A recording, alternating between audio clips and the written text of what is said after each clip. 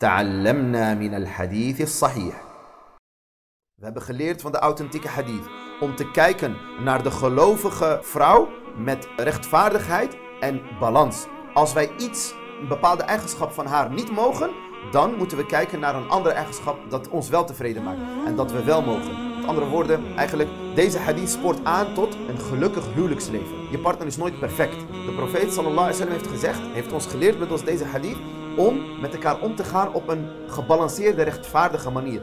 Als jij een eigenschap ziet in jouw partner die je niet mag, kijk dan naar een andere eigenschap die jij wel mag.